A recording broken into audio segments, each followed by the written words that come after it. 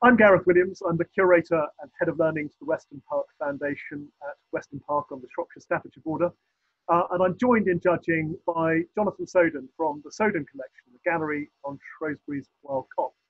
Um, it's been our great pleasure to have conducted the judging for the Shropshire Virtual Shows Arts and Crafts competition. Um, we've been blown away by the range of talent, uh, the range of different mediums that we have seen.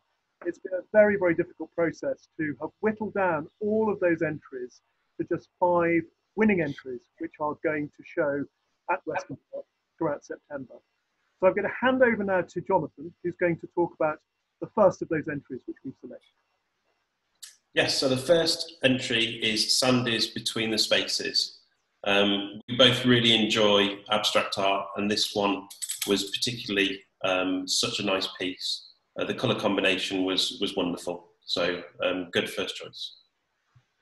Second choice um, was the work which was submitted by Amelia. It was called Japanese Moon, and this was a lino cut print inspired by Japanese mythology. It was a very large scale lino cut print, the only example that was entered into the competition as well.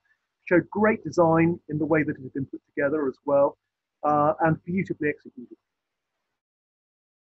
And the next one um, was a painting done by Deborah um, entitled Rita.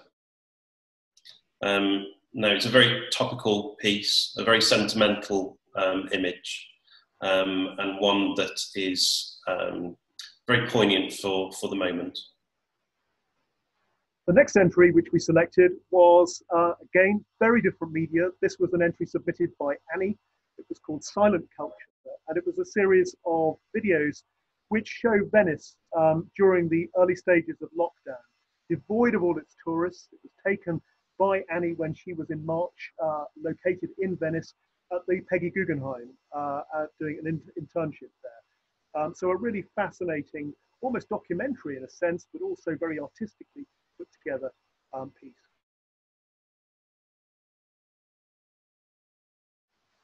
And last but not least is um, an entry by Peter. Um, this is a, a handmade um, needle felted giraffe which we both thought that um, was extremely detailed um, and thought that it was, um, yeah, a very, very fine piece. Thank you both very much for all the work you put into judging this. Thank you very much.